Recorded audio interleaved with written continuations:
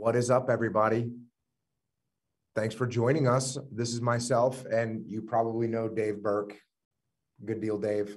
If you listen to the podcast, you've definitely heard Dave before, and he came to, I guess, help ask questions. You all have submitted a bunch of questions, and they asked me to start off by explaining why I wrote the book. I'm, I dread doing this because I know you might have already listened to the podcast that I did about this book and why I wrote it, where it came from. But and the reason I say I dread is because when I start talking about it, sometimes I might take two hours to explain why I wrote this book, or maybe even five hours. So I don't want to spend that much time on why I wrote the book or where the ideas came from, because I do want to get into the questions. We kind of got to peruse really quickly. The questions look like there's some pretty cool questions in there. So the book, this is the book. The book is called Final Spin. I got my first box. Well, I guess I got my first box at the muster. They shipped a box house. They also shipped me the the Final Spin uh, dryer sheets, which people thought we were kidding, but that is for real. That is for real right there. Um, they want to do something to promote the book. Why not do dryer sheets? Well, takes place in a laundromat. So the characters in the book are based on either composites of people that I knew or some some version of people that I knew in my life. I think everyone has heard me talk about the fact that I worked at Wendy's when I was a kid. Yes, I was a burger flipper at Wendy's. And when I was working at Wendy's, there was a woman who was probably 50 or 55 years old. She had some kind of a mild intellectual disability and she ran the salad bar at Wendy's, which I came to find out Wendy's doesn't have a salad bar anymore, apparently. So this is in the good old days. I guess post COVID, no one's going to have salad bars, but they used to have a salad bar at Wendy's, and she ran the salad bar, and she absolutely loved it. She kept all the croutons leveled up in their little container. She had all the salad fresh. The carrot carrot shreddings were very meticulously beautiful, and she loved it she loved it. She had a smile on her face. She worked really hard. She was constantly checking on it. It was something that made her happy. And for me, 16, 17 year old kid working at Wendy's, she was a lot happier than I was. And what was really interesting, she was a lot happier than most people that I knew. So I always kind of remembered that. I always remembered that fact of this woman that she was happy and it didn't seem like too many other people were happy. And that was what developed the character Arty in the story who's about 30 years old. He's obsessed not with a salad bar, but with a laundromat. And he works at a laundromat and he loves working at the laundromat. And the laundromat is owned by a couple from Holland. The wife speaks no English. The husband speaks English the reason I chose laundromat, there's two reasons. Number one, because if you're going to be obsessed with something, I wanted to be, I wanted the character to be obsessed with something that's ironic, because I've never met a person in my life that was obsessed with laundry. Barring a few Marines in my life, especially the drill instructors that put me through officer candidate school, who seemed pretty obsessed with laundry and ironing. But I thought it was very strange. You know, people are people are obsessed with all kinds of things: jujitsu, surfing, archery, chess. What else? A lot of things. NASCAR, yeah. uh, cars in general. People just get obsessed with random things. And I kind of wanted to, to, to play on that a little bit, people being obsessed with things. And if you're going to be obsessed, for, for someone that like me that's obsessed with jujitsu, when I talk to other people, I might as well be talking about laundry because it makes no sense to them. So, so that was that was part of it. I also when I when I used to go to a laundromat, my wife and I here in San Diego, California, the laundromat that we went to was actually owned by an Asian couple, and the wife didn't speak English, the husband did. The wife, when we would show up to do our laundry, whatever it was, once a week on Sunday afternoon, the wife would tell us jokes in her language and then laugh hysterically. And neither one of us would understand it. We would just laugh because it must have been funny. And that was kind of the idea behind the laundromat. This is the idea behind Arty, who's mildly, you know, got some intellectual disability. and then there's the goat and johnny who are the other two main characters and these guys are kind of composite characters of some of me and my friends when we were growing up causing trouble getting into trouble uh, you know nothing heinous but definitely not really contributing society in the in the in the most the most beautiful way so also the fact that uh, part of this part of this story comes from and the book is dedicated to a friend of mine that I grew up with, a kid named Jeff Lang. And Jeff Lang was a, a, really smart kid, a really funny kid, a really charismatic kid, a handsome kid, an athletic kid, basically a, a, a kid that was much better than me in just about every way. And yet we we were great friends through about sixth grade. Fifth grade, we had class together all day. The whole day was us together with Mr. Parker. Mr. Parker he he was a nice guy. He was a good teacher, and he would try and contain these two little maniacs. He would be able to contain me usually, but Jeff had a little bit more rebellion in him than I did. So, you know, if Mr. Parker would say, Hey, you guys need to be quiet right now, I'm going to send you to the office, I would be quiet. Jeff would not. He would get sent to the office. That was sort of the beginning of the divergence. After that, sixth, seventh grade, seventh grade, we started to we started to go down different paths and the path that he went down was not not a healthy one it involved you know first alcohol and smoking and then drugs and that whole thing and we we still remained friends but he went down that path. I didn't. And eventually uh, he was in pretty rough shape. Um, his life was not going in the greatest direction and i joined the navy. And when i joined the navy i remember the last time that i talked to him he was now pretty pretty rough looking and he I told you know he had heard or I told him I, hey I'm going to the Navy. And this is you know when we were kids we would run around the woods playing war and all that and shooting each other with BB guns which is not recommended but it's what we did and so you know he had that sort of innate thing of wanting to be a soldier like I did when we were little but I actually now joined the Navy to go and be some kind of soldier and I remember him saying to me something along the lines of I wish I could go with you. And I said, well, you know, why don't you go down and see the recruiter? And, and I saw the look on his face. He, he realized that he couldn't, and he was too far down a bad path. So that was that. I joined the Navy, and probably about six to nine months after I joined the Navy, I called home to check in with my parents, and my mom told me that Jeff had killed himself. So just an awful situation and and and part of this book and part of the underlying theme of this book is people get stuck in tough situations and they don't see a way out of them and they want to try and find a way out of them they don't always find a way out of them so that was another underlying theme and some of the some of the banter between the friends just good dialogue reminds me of the dialogue that i would have with my friends when i was a kid. And there's a manager in there named gerald lundstrom who they call the Weasel, who's uh, very typical manager, very, very typical bad manager. You know, we work with leaders all the time now at Echelon Front, and this is not the kind of, of leader that we uh, want to see. So through that bad manager in there, and there's just a cast of other characters that that come in. I guess the only other one that plays a, a prominent role would be Jessica. Jessica is Johnny's girlfriend. And, and again, this is sort of a com- composite character of of a lot of girls and women that I knew, and they were just kind of ended up in situations that they really weren't meeting their potential in life and were a little bit trapped there. So, you know, that's the that's that's part of what the book is about. And the last thing I'll say about this is when I was growing up, it seemed to me like there was a underlying sadness in pe- people and and the people that I knew, the people that I saw in the world. It seemed to me, I, I guess, may, sadness might be a strong word, but it at least seemed that life doesn't really work out the way you want it to, and and that's a reality of for anyone.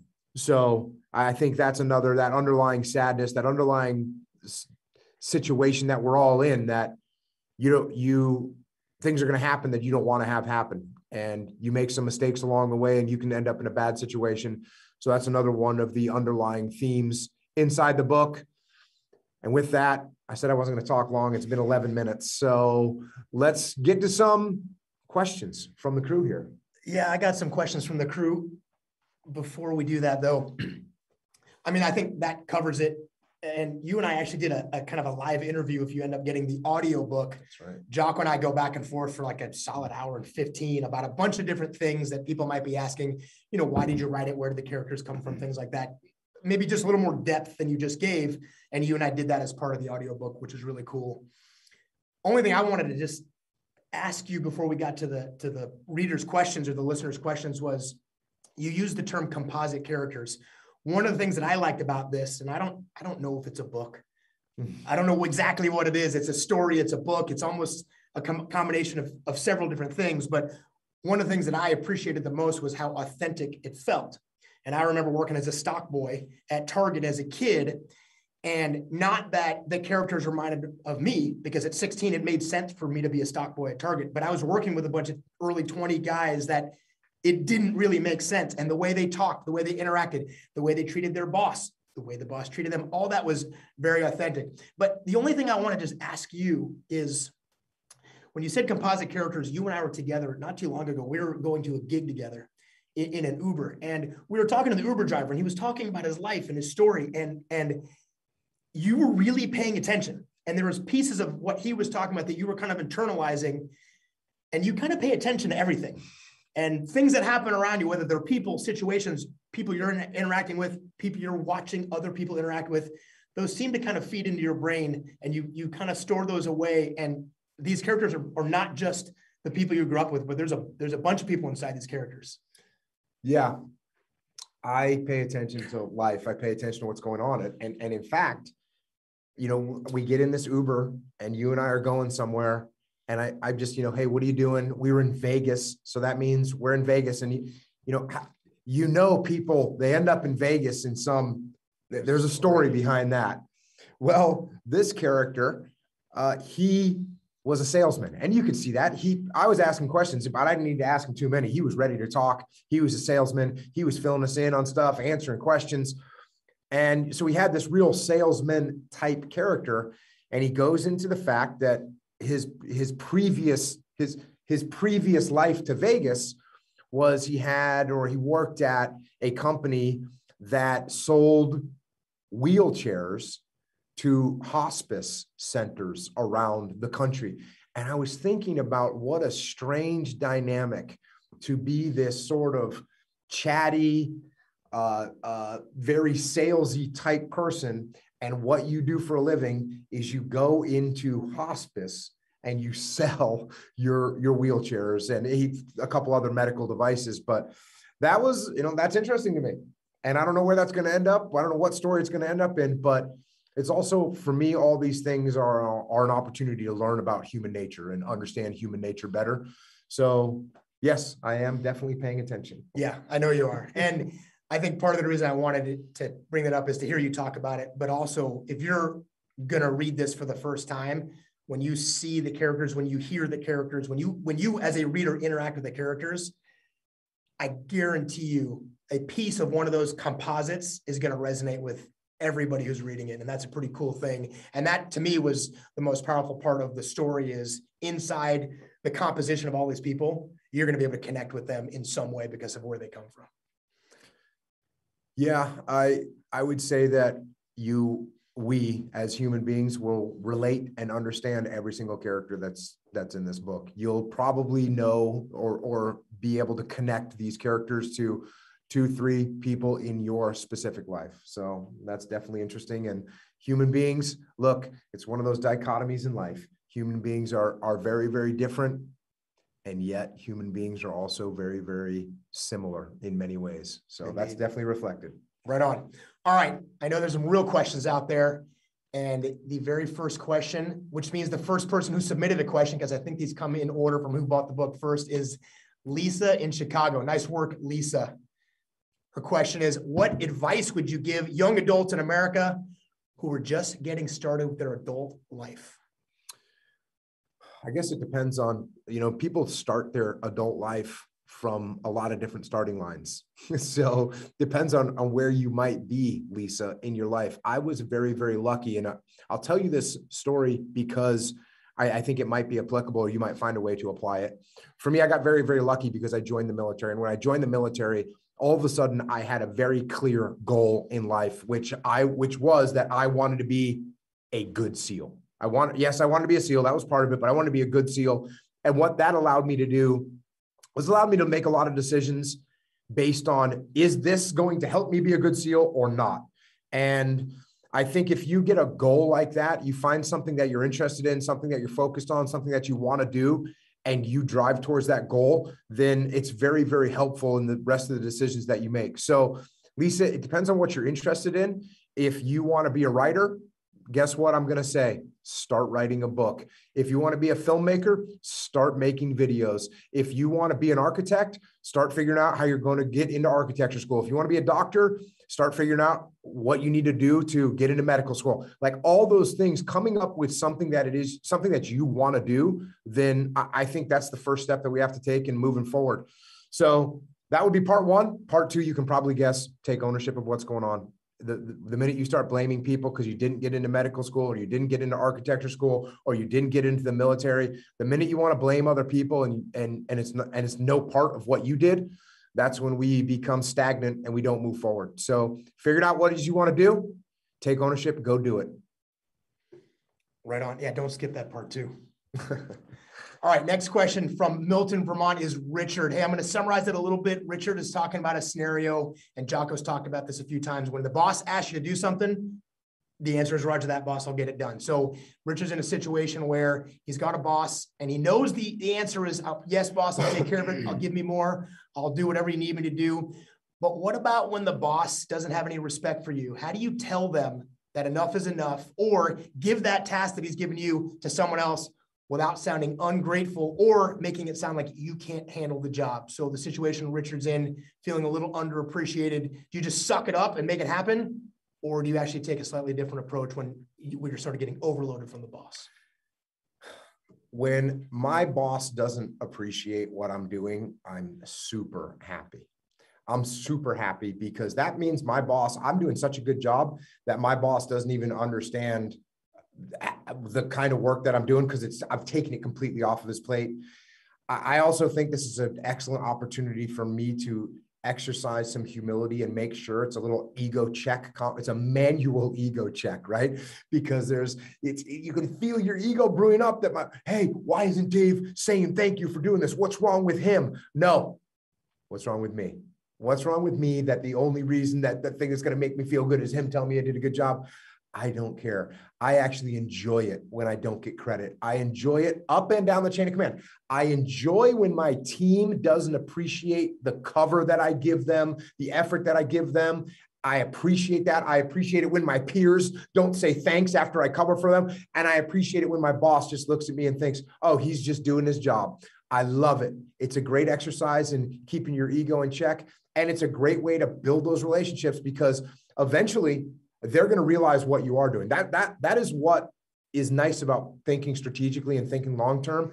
Eventually, you're going to be sick for a week or something's going to happen where you're not there and they're going to realize what you're doing for them and then they'll be truly appreciative. So, I have no problem with it. Just got to stay humble um, and and and this will work itself out. This is no factor. Enjoy it.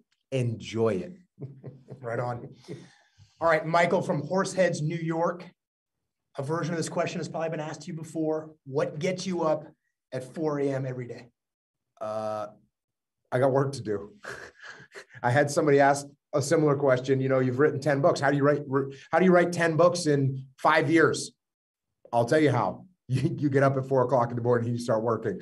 So that's what gets me up. The, the, the, the, the heaviest part of this is that, you know, having been in the military, Dave and myself, we have friends that we lost that don't have the opportunity to do what we do that didn't come home from overseas and and so for for guys like Dave for guys like me just the opportunity to get up and work and produce and try and do something in life that honors the friends that we lost that's that's really all you need in the morning when you get out of bed.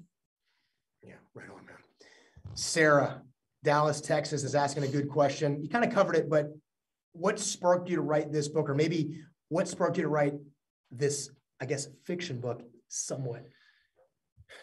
I yeah, so there's two things going on. One is that I have a I have a lot of stories bouncing around in my head, a lot of ideas, a lot of uh, plot lines that are up there, and I'm constantly kind of they're they're fighting with each other to see which one gets to come out of my fingertips into the word processor. This this one won, and, and the reason it won is because there was so many parts of this story that I really wanted to see play out. There's so many interactions between these people.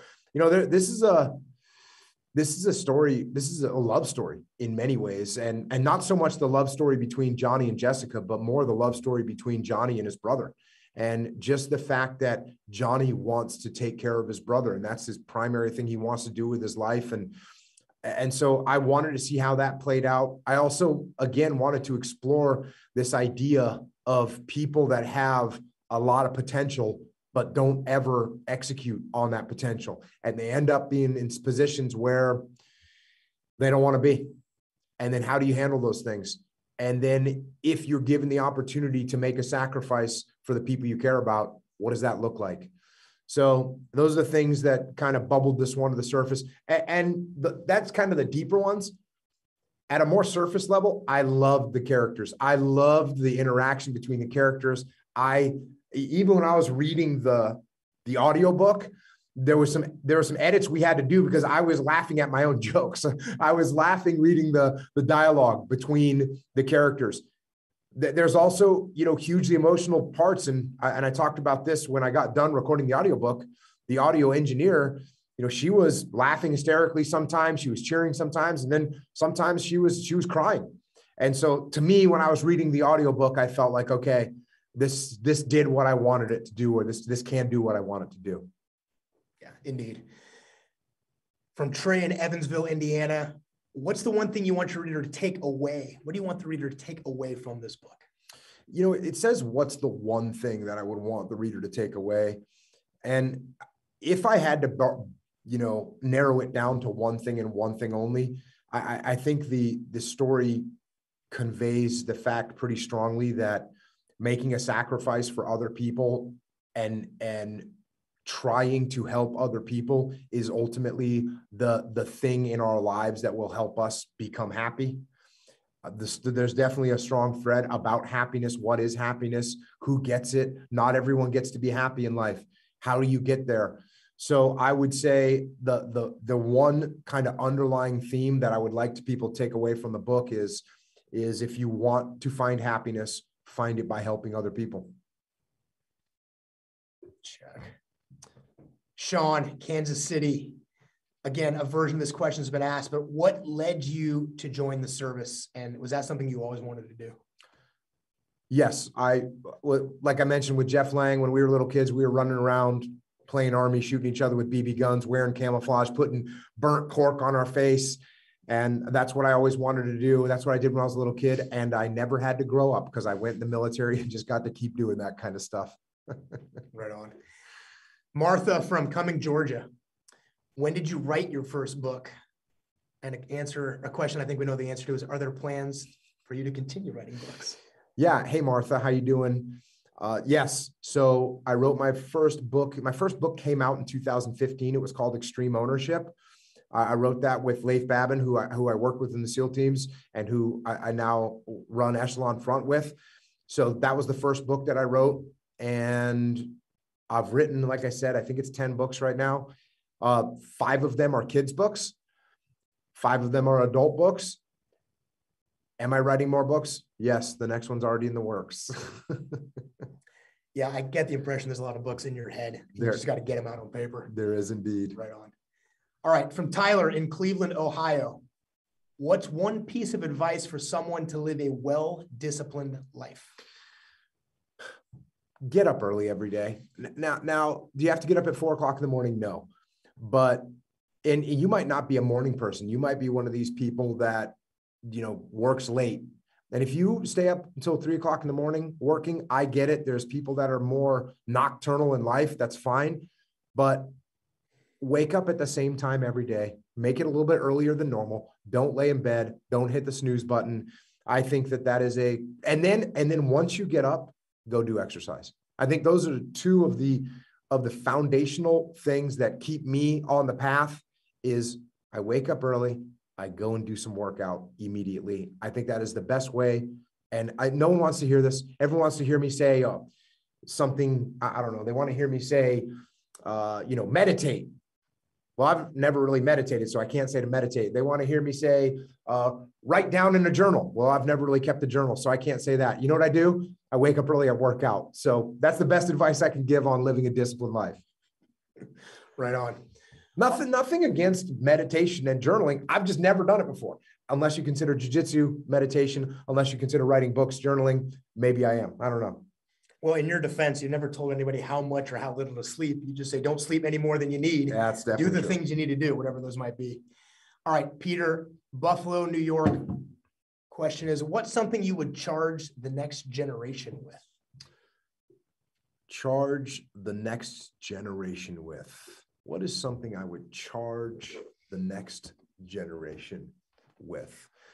I would charge the next generation with opening your minds. And I, and I think that I, I think that oddly enough, the sometimes we feel like our minds are opening, but they're actually closing. And what I try and do is I try and go through life with an open mind and I try and listen to other people's ideas. When I disagree with someone's idea, I don't close my mind to it. I open my mind more so I can try and understand where they're coming from. So there's a lot of divisiveness in the country right now. I think that comes from a lot of people when they hear a new idea or a different idea or an idea that they've written off, instead of opening their minds and trying to understand it, they close their minds and they don't want to accept any part of it. And what does that do? It closes out that person, it closes out that relationship, it closes out that communication stream. All those things are bad. So let's open our minds, people. Yeah, and you even have mentioned ways, or maybe the best way to open your mind is to listen to other people. You yes. say that a lot these days. Yes. Uh, two of the most underrated tools of leadership. One is listening, and two is asking earnest questions. Not why the heck would we do that, but hey, can you explain to me where you're coming from? So, yes, open your mind, listen, ask earnest questions. Right on. All right, Heath, I'm answer. I'm interested in this answer too. Jocko, if you could recommend one podcast of yours to listen to, which one would it be?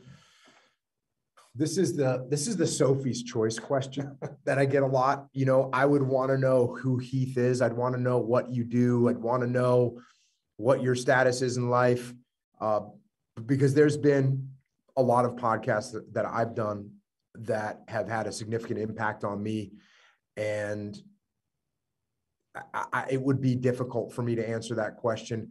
I, I know you know you know there's there's the Dakota Meyer one, which is very, very powerful. Dakota's an incredible guy.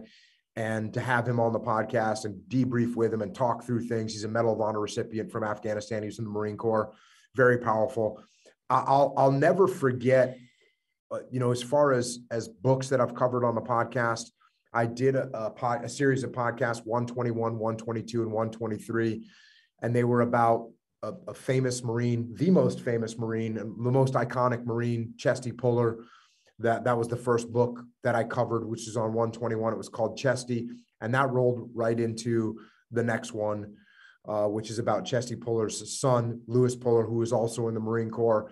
And yeah, if you want to take an emo- emotional roller coaster and learn some things about the world and life, then I think that's those are those are some pretty powerful ones. But again, I mean, I had Rose Schindler, who was in, in Auschwitz, who survived Auschwitz. I mean, what an incredible woman, one of the most incredible and one of the most, one of the strongest human beings I've ever met, if not the strongest human being I've ever met. And she's all of about four foot eight. Uh, just an incredible human being. Um, you know, Captain Plumb, who spent six years in the Hanoi Hilton. Um, William Reeder, who was in the jungle prison camps in Vietnam. I, mean, just I've, I've had such a, a blessing to be able to cover these books and talk to these people. So I, hard for me to narrow it down.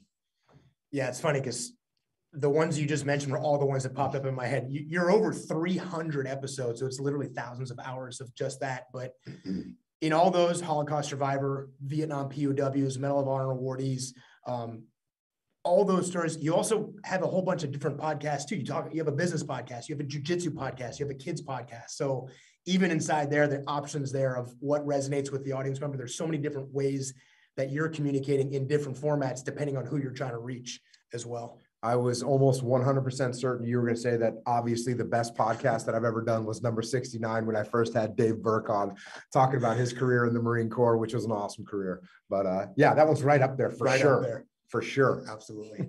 All right, man. We got uh, TJ from Oxford, Mississippi. What led you to co found Echelon Front and how did that begin? uh, as I was retiring from the Navy, I got asked by a friend of mine who is the CEO of a big company. He asked me to go up and talk to his executives about leadership. I went and did that. When I got done, he asked me to come talk to every division in his in his company. I started traveling around the country, talking to all of his divisions. At one of those divisional meetings, the CEO of the parent company was there. He asked me to come and talk to all his CEOs. He owned about 45 or 50 companies at the time. Once I did that, a bunch of those CEOs asked me to come and talk to their companies and and there you go. Leif Leif uh, came and started helping me out, covering down on some of these gigs. Eventually, so many people were asking us for documents or something we could give to people after the after the briefs that we gave them. We looked at each other and said, "Well, we guess we better write this stuff down." That turned into extreme ownership, and and really the rest is uh, kind of how I ended up here. You're actually forced to bring on other people as well. Yeah, eventually. Right on. Hey, Cassidy from Phoenix, Arizona. Answer this. Maybe you can go in a little more detail. We know you get up early. We know you work out. What's your morning routine? Morning routine. Yep. I, I, I get up. I, you know, brush my teeth, put my PT gear on. I go and work out. My workouts, depending on what I have planned for the day, can be anywhere between 15, 20 minutes all the way out to a couple, through two, three hours. Uh, that's what I do. I get done. I usually don't eat until around 10 30 11 i'll start nibbling on some food. But that that's my morning routine. It's not definitely not complicated definitely not complex. I don't that's it. That's as simple as that. How often are you trying to get things like surfing and jujitsu into your full day's routine not just the morning but how often are you trying to make uh, that part of your day 100% of the time always trying to make that part of my day yeah right on I think in this case from Germany, I think it's Jan. I'm hoping I'm saying that right. Jan from uh, Nordrhein Westfalen, Germany. Accent was terrible, but um, not all of your members share the same goal. What do you do? In my department, not everyone wants to win, but some want to work as little as possible. So, how do you solve that problem? So what I do is I try and align my goals with their goals. So if I'm working with Dave and he doesn't want to work very much, what I say is, "Hey Dave, the better we do, the the more efficient we become, the less we're going to have to work and the more money we're going to make. So let's figure out maybe we have to work hard right now for six months or a year, but then we can get some efficiency set up. You can actually hire some people underneath you and they can kind of cover down on some of the busy work and free you up to do some more things that you like. So if I have somebody that wants to do something different than me, I figure out how we can how we can get those goals aligned. And once I get those goals aligned, it's pretty easy to move forward. Indeed. All right, I don't have a name for this one, but it's a question about how you became who you are today. He's talking about obviously the service helped you with discipline, but how were you raised to join the military and the SEAL teams? And is there a specific person that helped you become who you are today? I mean, I, I think I had a pretty normal childhood. Both my parents were school teachers. I was like not great at anything. I was pretty average across the board. I just wanted to be some kind of a commando. Luckily, uh, and then once I got in the SEAL teams, I, I, definitely paid attention. I always looked at things from a leadership perspective. Part of the reason I looked at things from a leadership perspective is that I wasn't that great at anything. I wasn't the best shot. I wasn't the best diver. I wasn't the best swimmer. I wasn't the fastest runner. I wasn't the strongest weight guy. So, what could I bring to the team? Well, luckily, I was pretty good at stepping back and looking at chaotic situations and figuring out what to do. You know what that does? That puts you in leadership positions. I didn't I wasn't striving for it. I didn't say, oh, I want to be in charge. I just kind of de facto ended up there. So I, I, just paid attention to the leaders that I had. Definitely in the book, Leadership Strategy and Tactics, I talk about my second platoon where I ended up working for a, a, a really incredible leader. And that guy had a huge influence on me in terms of not only what I wanted to do with my life because he made me want to become a SEAL officer so I could take care of a SEAL platoon, but also the humility with which he led, which was incredible, especially given how experienced and talented he was. He was very humble, and that's why he's uh, the the role model for me. And the other role model I have, as you you probably know if you know much about me, is the guy that wrote this book right here called About Face Colonel David Hackworth, and I ended up writing the forward to the reissue of this book. But that book has been a incredible mentor to me. I never met David Hackworth, but that book is a, an incredible leadership book, incredible lessons from there. And I stole all kinds of stuff from him as a leader, and I and I still steal it every day. So those are some things that help me out. Right on. All right, Eric from Washington, and Eric's kind of asking on behalf of people who are starting out, who are new in their career, how can the common man live a life of discipline and rise to be a leader in their community or workplace? So, look, uh, being a disciplined person has, I mean, everyone has the opportunity to be disciplined, and and I think that what you find is, and this is what I find, one of the reasons that I became disciplined. Again, it boils or it's rooted in the fact that I wasn't great at anything. I was very common. Uh, you know, I was about average in my SEAL training class. Uh, you know, I wasn't winning r- runs, that's for sure. I wasn't winning swims. You know, I was in the middle of the pack for just about everything. And when I got to a SEAL team, I was looking around at some of the other guys. They were they were studs, and I was kind of average. So what did I need to do to to be able to stay on par with them? I needed to have more discipline. I needed to work hard. And I, I found that uh, the harder I worked, the luckier I got. The more disciplined I was, the more leadership uh, positions I was put into.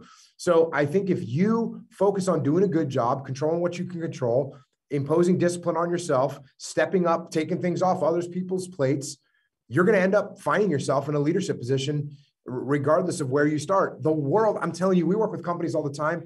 If you're a hardworking person, if you're a disciplined person, if you're a humble person, the world is screaming for you. They the companies are screaming for you. There's so much opportunity out there. If you're willing to work hard and stay humble, it's there. Uh, I don't think that's a. I don't think it's. It's not easy. I don't want to say it's easy, but if you have the the will you can absolutely make it happen. It doesn't matter where you are in life. Dude, there is no doubt about that.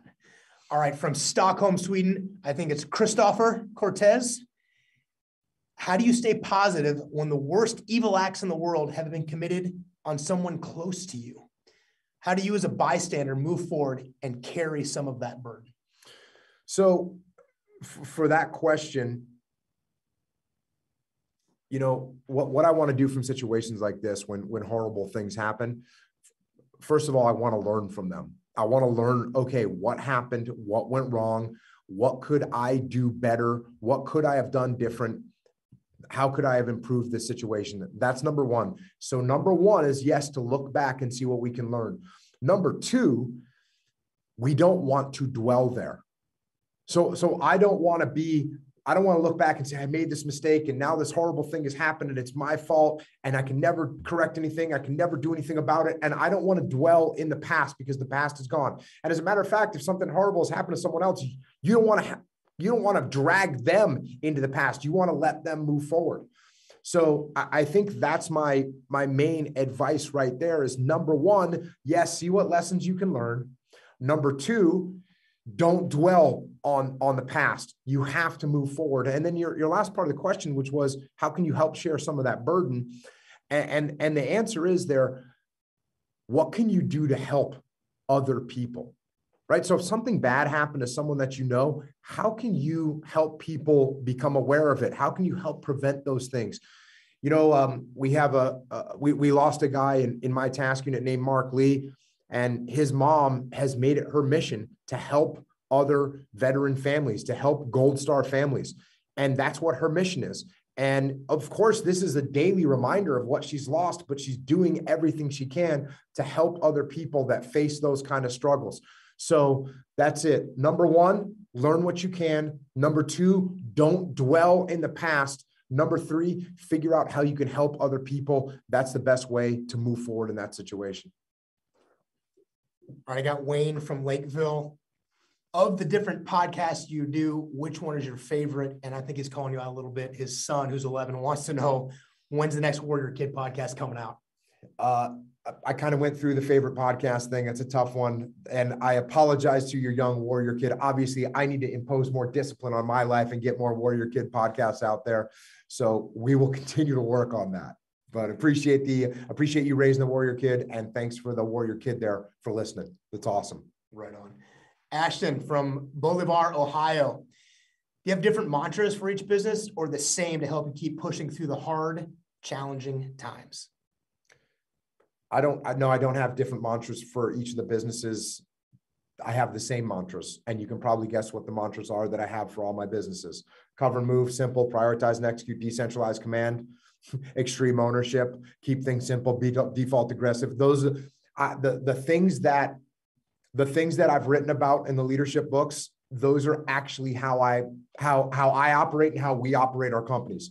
So, uh, for example, you know we have Jocko Fuel it's total decentralized command. I I barely know when new product is coming out. I tested it, you know, two months ago, helped come up with a formula or approve the formulas that, that were created.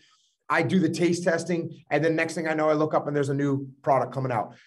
There, there's things that happen at Echelon Front, our consulting company. Dave's got one of our our top clients that we've been working with for a few years, multi-million dollar contract. We just re-signed with them I've never worked, I've never worked with that company. So it's a company that's that that is paying us a lot of money. I haven't worked with them. Why is that? It's decentralized command. Dave's out there, you know, running that project and making it happen. So that's that's the way it is with with all my companies. Those are my mantras. The mantras, there's no secret. I I've written them all for you. That there's no question what my mantras are. Yeah, the cool part about the mantra is it works in every business in every situation. So it's legit. All right, Alex, Northern Ireland. What advice would you give a 19 year old just starting out on his career who's not sure where he wants to go or what he wants to do? I would look and see if there's anything that you're interested in. There has to be something that you're interested in. It, there has to be something that you're interested in that you can look at and say, hey, I really like jujitsu. I'm going to go down that path. And start figuring out how to get good at jujitsu and open a jujitsu school one day. Or I really like sewing. So you know what I'm going to do? I'm going to start figuring out how I'm going to sew uh, handbags and I'm going to sell handbags. There's a million different things that you can do. Whatever you're interested in, I would go forward with. Now, if that's not good enough and you say to yourself, yeah, but Jocko, I just don't know what to do. I ha- actually have an answer for that too. If you're content with where you're at, meaning you don't know which direction to go in, which to me, if you don't know which direction to go in, that means you're happy where you are right? If you don't look at a, a mountain and say, I want to climb that mountain, then that's you saying, okay, I'm comfortable where I am. If you're comfortable where you are in life, meaning you're not quite sure which direction to go in, my answer to you is help other people. Go and help other people. Find people that need support, that need help. Go, go and help them, and you will find uh, you that will lead you to the path of what you want to do for yourself as well. Brittany from Minnesota. Jocko, have you ever considered going into law enforcement? And any advice you'd give to people looking to get looking to get into that line of work? Yeah, well, actually, I, I am a reserve police officer. So I, I'm very supportive of law enforcement. And I can tell you from doing that job, that is a very challenging job. It's a very difficult job. And it's a job right now that's been come under all kinds of scrutiny. And what that scrutiny tells me is that we need more good police officers out there. Uh, so what advice would I have? Look, the the same advice that I give all the time for the, all these other things that we talked about. Yes, cover, move, simple, prioritize, and execute, decentralized command, but something that I focused a lot in the book Leadership Strategy and Tactics, and that is learning how to detach, detach from situations, detach from chaos and mayhem, detach from your emotions. There's nothing that I find more impressive than a law enforcement officer that's having somebody yell insults at them scream and yell and they don't get emotional they maintain their professionalism that's what that's what police officers need to do so i would focus on that as you go into that career focus on how you are going to learn to detach in tough situations Yeah, and listen, Jocko, you say this to everybody we work with, but you you seem to emphasize it a lot when you work with law enforcement, which we do regularly. At least once a month, we're doing a law enforcement engagement. You also talk about training and that detachment. You talk about training to detach, train jujitsu, train with your weapon, train communication, train in all those scenarios. And, and you you do a uh, you emphasize a lot the need to train in, in, that line of business as much as anywhere. Yeah you can't just read about detachment and think you're gonna be able to do it. You need to put yourself in stressful situations. You need to put yourself in shoot don't shoot situations with simunition or paintball and then deal with that see what it feels like learn what those warning signs are that go on on your head so you learn how to de-escalate not just with other people but how to de-escalate yourself all right, Casey from Missouri, what advice do you have on pivoting? Something didn't work as well as expected. How best do I collect myself and move in the next direction? Uh, similar to the answer I just gave about when you experience some kind of tragedy. If if something didn't go the way I want it to go, what I'm going to do is I'm going to okay, what lessons can I learn from that? What can I take away? And now it's time to move forward. So if you keep saying, oh man, I should have signed that deal, I should have closed that deal, I should have opened up that store, I should have created that product. All those things are in the past. You can't change them. All you can do is say, what can I learn from them? And now let's move forward. That's the best thing to do. You don't think it's better to just dig into that position and refuse to maneuver? I, I think that digging into positions and refusing to maneuver is not a good move. Right on. All right, I got Steve calling or uh, writing in from Winchester, Virginia. He doesn't have a question, just wants to thank Jocko for all the work, but there's a pretty legit shout out to Echo Charles for his technical skills mm-hmm. and for all the uh, the Leif bombshells and all the gouge he's been passing. So thanks to Jocko, Echo, and Leif. That's pretty legit. John from St. Clair Shores, Michigan. Being a Navy SEAL and dealing with mental toughness, what was your most memorable, proud moment of your life and what was your most challenging? Also, how did you overcome it? Uh, I would say the mo- the proudest moment for me eh, in the SEAL teams was we were just out on a patrol in the Battle of Ramadi. It was towards the end of our deployment, and I was just a gunner, uh, just a shooter in, in, a platoon. I wasn't I wasn't the leader. I was just you know out tagging along with the platoon on one of their patrols, and as we were maneuvering through the streets, I was sort of sitting there watching from a rear security position, just watching the the task unit just move and seeing that they were they were they were about as perfect as a military unit could be at that time. This is after you know coming to the end of a six month deployment. I see everyone is moving perfectly. They're, all angles are getting covered. Weapons are in the ready position. Everyone just looked outstanding. And I remember I think to myself, man, it's um, it's a it's an honor to be a part of this and then and then obviously the the worst thing and the hardest thing to deal with is uh, losing guys in combat, and those are those are the you know it's a, it's a it's a horrible dichotomy that the best times of my life were in in in in combat leadership position in the Battle of Ramadi, and the worst times of my life were in a combat leadership in the Battle of Ramadi, losing guys. Won't ever forget those guys. And uh, again the question of how, how do you move forward? It's it's what i've been saying this whole time what can we learn? Now let's remember, but we are not going to dwell in the past. We're not going to focus on on the loss. We're going to focus on moving forward, taking lessons learned, and going out and executing the mission. Right on. Henry from Los Angeles, you'll have to explain this one. How did you end up on the cover of the Force Reality album? Uh, yeah, that was a band when I was growing up, and John Bozak, who did all the art for the Way of the Warrior Kid stuff, uh, he ended up putting that album out or doing the art for the for the cover of that album. And what what more beautiful uh, model for the art than this guy right here? yeah. All right, I got a question from Amber in Australia. Given your life journey and adversity faced, what does having a successful book mean to you? And what's the potential impact of this book on the people and things that you care about? I mean, look, it's it's always cool to write something or create something that other people like, but that that's not really what I focus on. And and I think, you know, what the podcast is a good example of the fact that if you're going to make a popular podcast, you don't make my podcast. You don't make five hour podcasts about the atrocities of of war. You don't sit there and read historical books for hours and and that's how you get a popular podcast.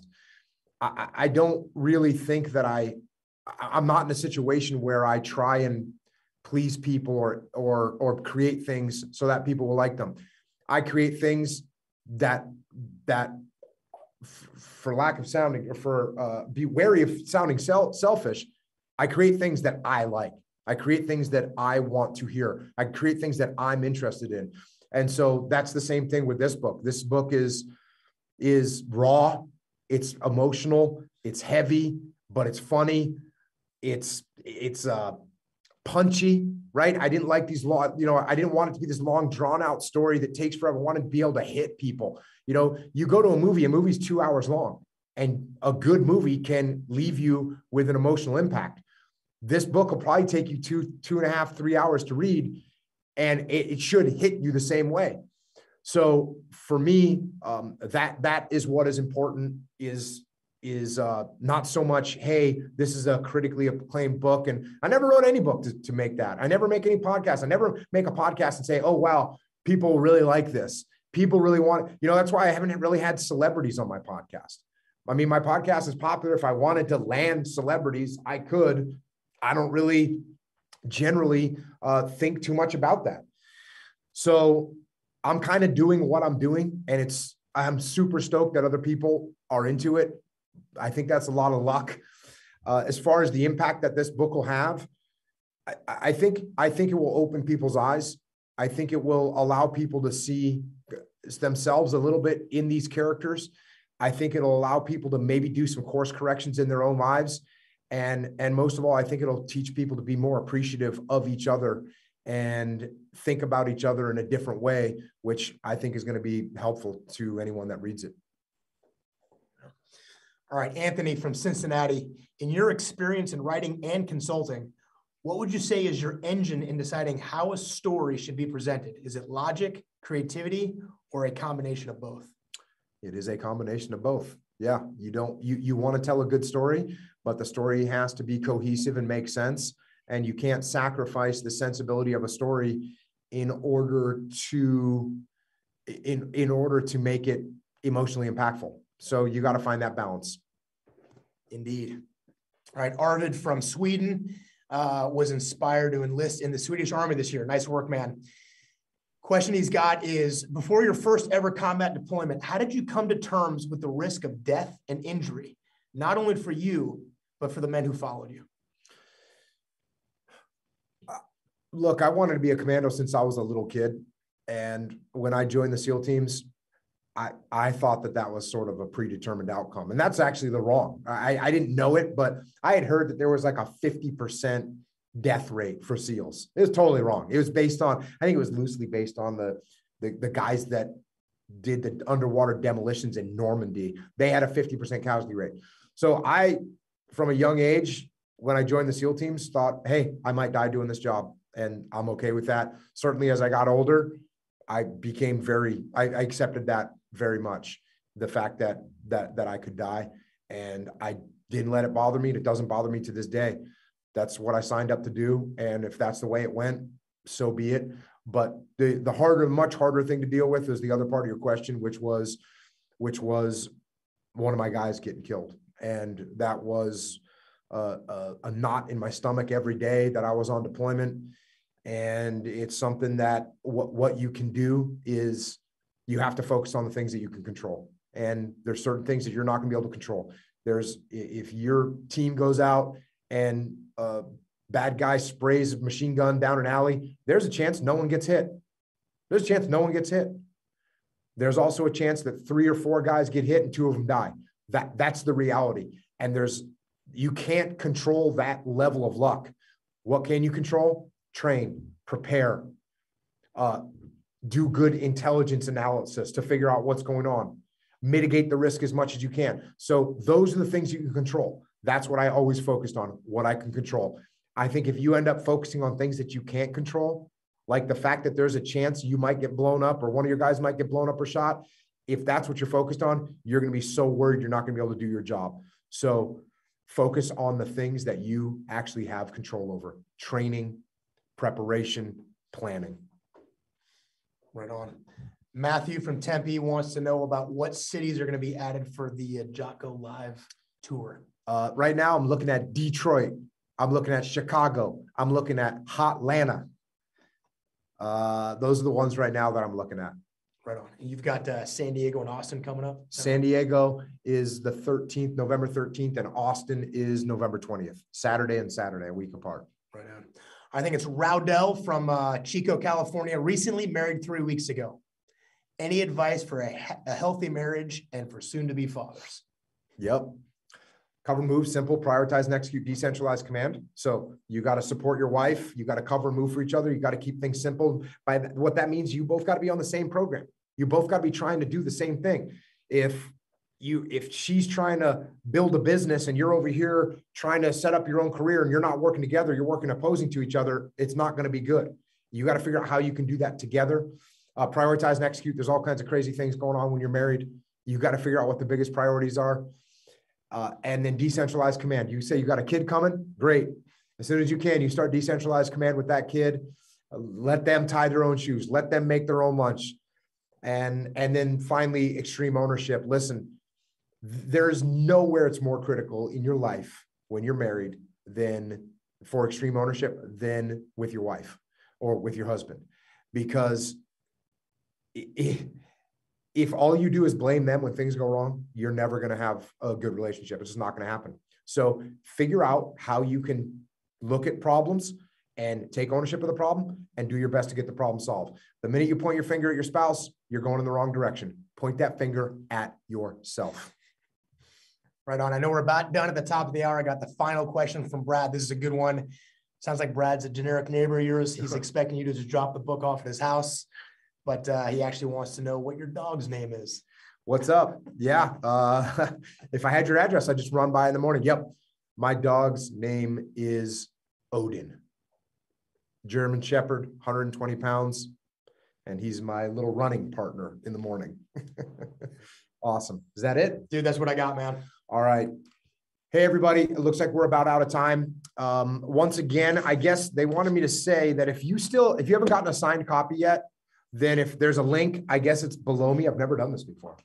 I hope there's a link below me. I can't see it, but allegedly there's a link below me that if you want to order a signed copy, first a dish of the book, you can do it there. And appreciate everyone's support. Appreciate you spreading the word. Um, there's uh, it's a very strange world, the literary world of books, the fiction world of books. They're, they're apparently, I don't know this yet. Apparently, they're very hostile they don't like people to be successful. They want you to fail. So I appreciate everyone joining in and doing your best to make sure that that I don't fail. And if I do, hey, guess what I'm going to do? I'm going to learn from it. I'm going to adjust and I'm going to move on. Thanks everybody. Appreciate it. Dave, thanks for joining me. Appreciate it, man. Thanks, man. Thanks everybody. We'll see you out there.